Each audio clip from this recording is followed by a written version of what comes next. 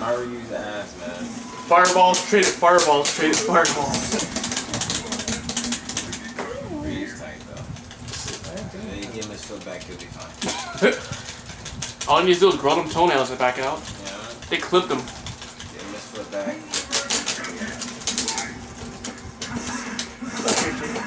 Shit. Oh, damage. Oh, yeah.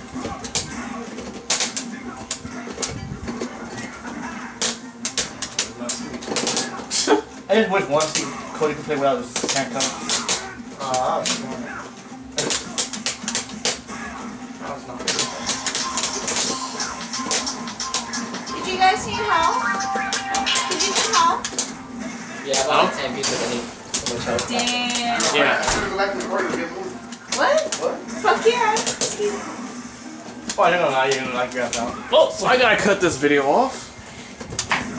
Nobody will ever know who won. No one shall ever know. Hit him real quick. There we go. Now I can cut it off.